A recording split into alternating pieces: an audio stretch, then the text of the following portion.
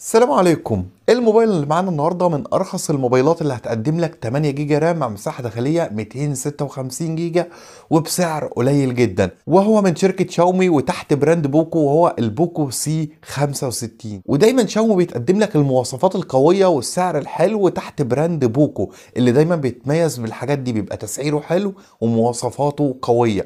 ودي أول حاجة شفناها في البوكو سي 65 ال 8 جيجا رام مع 256 جيجا فدي حاجة قوية جدا. في فئة اقتصادية. وفي نسخة تانية 6 جيجا رام مع 128 النسختين دول انتشروا في الوطن العربي ونزلوا مصر بشكل رسمي. ال 6 جيجا رام ب 6500 جنيه وال 8 جيجا رام مع 256 ب 7500 جنيه ودي الأسعار الرسمية.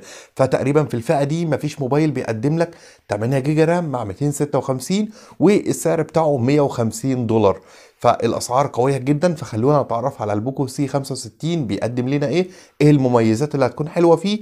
وإيه التنازلات والعيوب اللي موجودة في الموبايل ده؟ فيلا بينا كده نخش على البوكو سي 65 وبفكرك إن أنت تعمل like للفيديو ولو مش مشترك اعمل اشتراك عشان تتابع كل الكلام الجديد اللي جاي. طيب نخش أول حاجة على شكل الموبايل اللي شكله كويس جدا وشكله جميل قوي ونفس لغة التصميم اللي استخدمتها بوكو السنة دي في ال Poco X6 وال Poco X6 Pro. جالنا برضو نفس ال design الجميل بتاع الكاميرات وشكل الموبايل كده بشكل عام كويس جدا. وزنه لحد ما كويس 192 جرام وبرضه سمكه كويس فمسكته بتكون مريحة في الإيد. والشكل الخارجي بتاعه كده شكله premium وشكله شيك مش موبايل اقتصادي. والحواف بتاعته جاية كده من الحواف الحادة ودي بقى الترندية دلوقتي. الموبايل كده في الأول بيدعم ال NFC فدي نقطة حلوة. وسائل الدفع الإلكترونية والبصمة طبعا موجودة على زرار ال power وتعمل بكفاءة كويسة جدا. أما بقى لو لفينا الموبايل وجينا للشاشة بتاعته فالشاشة كالعادة فئة اقتصادية فجايبه لك بقى ال notch ال water drop notch القديم والحواف اللي تحت إلى حد ما كبيرة شوية.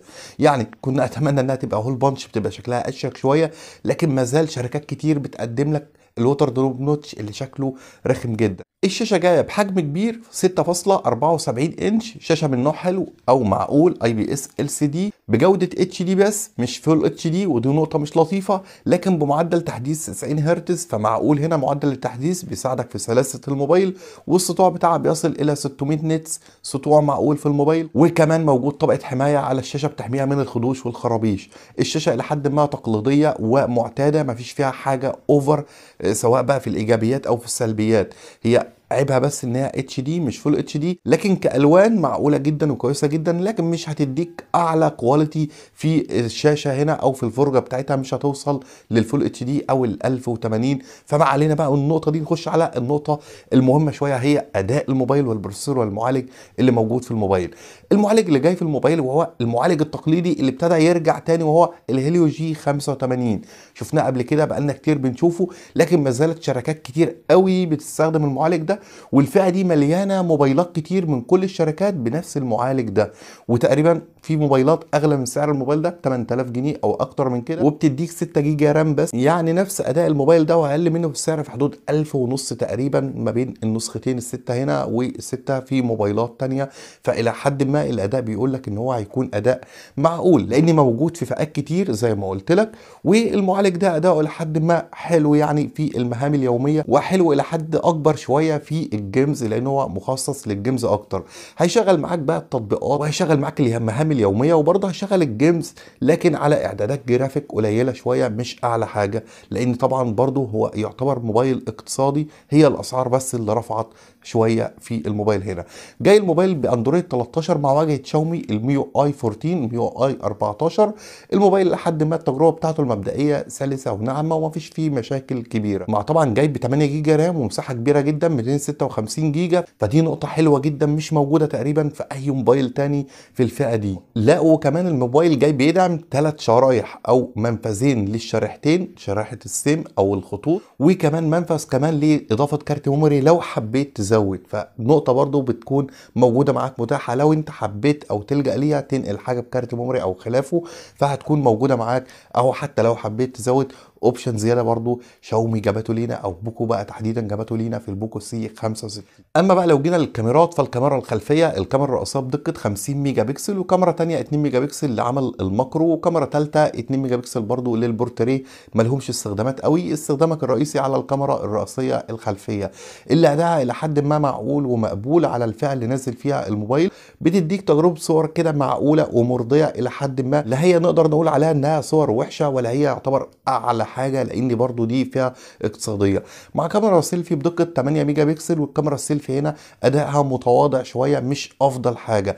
مش بقدرة الكاميرا الخلفية. الكاميرا الخلفية يعتبر أقوى لو بنقارنها بأداء الكاميرا السيلفي اللي موجودة في الموبايل لكن ما زالت برضو بتديك صور لحد ما مرضية. الكاميرات هنا بتصور معاك بدقة full HD وطبعا ما فيش أعلى من كده وده شيء مقبول وطبيعي في الموبايل. فكاميرات الموبايل يعتبر الكاميرات الكاميرا الخلفية الرئيسية حلوة ما فيش أعلى من كده تقريبا في الفئة دي. الكاميرا السيلفي يعتبر مقبولة. نسيب الكاميرات ونيجي لبطارية الموبايل اللي جاب قوة 5000 ملي أمبير زي كل البطاريات اللي بتيجي دلوقتي وبيدعم الشحن السريع حتى 18 واط. 18 واط صراحة ممكن دي اللي عيب شوية مش أحسن حاجة.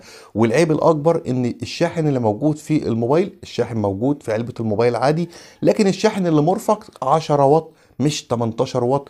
ودي بوظت التجربة ودي نقطة رخمة أكيد في الموبايل. يعني كان المفروض يكملوها يدوك حتى الشحن ال 18 واط.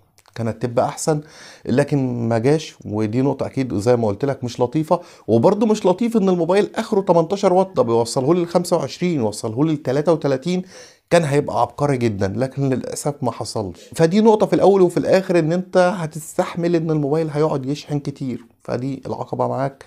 لو انت شايفها ان عقبة اما تقدر تستحملها هيكون مفيش مشكلة. ومعاك طبعا option ات تانية حلوة كتير إحنا قلناها. بالنسبة للمستشعرات في الموبايل فتقريبا أغلب المستشعرات بتشتغل عن طريق ال software. مفيش مستشعرات فعلية في الموبايل. زي الجيروسكوب اللي هو اللي بتستخدمه أكتر في الألعاب مش موجود في الموبايل هنا. برغم إن قلنا ال processor أو المعالج بتاع الموبايل حلو يشغل لك ألعاب حلوة على إعدادات جرافيك متوسطة هيكون حلو لكن مش موجود الجيروسكوب وبرده مستشعر تاني التسارع والتقارب أو ال proximity sensor اللي هو الخاص بقفل شاشة الموبايل وأنت بتتكلم أو لو أنت بتسمع voice فبرضه بيعمل هنا من خلال ال software واحيانا كده بيكون في بعض التعليقات عشان تبقى أنت برضه عارف النقطة دي. أما بالنسبة لصوت الموبايل فالصوت هنا طبعا سماعة وحيدة مش stereo speaker. أكيد لما بيكون stereo speaker سماعات مزدوجه أو سماعتين بتبقى تحت وفوق بتديك تجربة أفضل. لكن برضو هنا في تنازلات كتير في الموبايل عشان سعره ما يعلاش. فالصوت هنا صوت عادي وصوته لحد ما عالي ومقبول ويعتمد عليه عادي مفيش فيه مشكلة لكن هو مش أفضل حاجة. الموبايل زي ما قلت لك كده هو فيه بعض المميزات الحلوة وفي برضه بعض العيوب السخيفة. المميزات الحلوة إن شكل الموبايل كويس جدا شكله شيك مفيش أي تنازل تقريبا في الشكل بتاعه وفي الكواليتي الخارجي. حلو جدا. شاشة الموبايل إلى حد ما معقولة أداء الموبايل حلو الكاميرا الخلفية حلوة بطارية الموبايل حلوة دي تقريبا المميزات الحلوة اللي موجودة في الموبايل. أما النقط السلبية إن quality الشاشة HD دي نقطة سلبية لكن برضو مش هي اللي هتوقفك. معاك برضو نقط سلبية تانية زي أغلب المستشعرات اللي موجودة في الموبايل مستشعرات من خلال ال software مش موجود لها hardware وكمان الشاحن بتاع الموبايل اللي موجود هنا الشاحن 10 واط وقدرة الشحن بتاعته هتكون بطيئة شوية فدي كلها عيوب سلبية موجودة في ال Poco C 65 بجانب كمان إن علبة الموبايل ابتدت شاومي تقلب شوية حاجات فيها برغم إنها كانت بتجيب لك كل حاجة كانت بتجيب جراب بتجيب سكرينة بتجيب الشاحن.